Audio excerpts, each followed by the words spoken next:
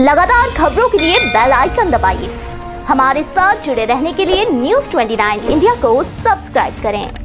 नमस्कार, आप देख रहे हैं न्यूज़ 29 इंडिया। मैं सानिया जैन, आपके साथ।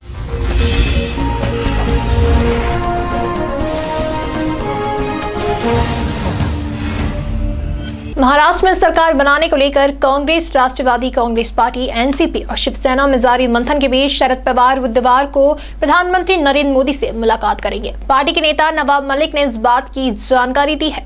एनसीपी प्रमुख शरद पवार की मुलाकात महाराष्ट्र में किसानों की समस्या को लेकर होगी। दोनों नेताओं के बीच ये मुलाकात संसद भवन में होगी। बता दें, महाराष्ट्र में गठबंधन सरकार बनाने के प्रयास जारी है। कांग्रेस, एनसीपी और शिवसेना एक दूसरे की मदद से सरकार बनाने की कोशिश में लगी है, लेकिन इसमें कुछ दिक्कतें आ रही हैं। एनसीपी नेता नवाब मलिक ने बताया, शरद पवार प्रधानमंत्री से संसद भवन में दोपहर में मुलाकात करेंगे। मलिक ने कहा कि एनसीपी प्रमुख प्रधानमंत्री से महाराष्ट्र के किसानों को राहत देने की मांग करेंगे।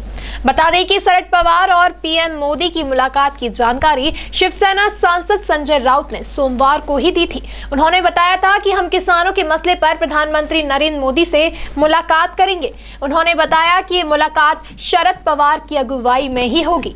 लगातार खबरों के लिए बने रहिए न्यूज़ 29 इंडिया के साथ। एक देश, सारे प्रदेश।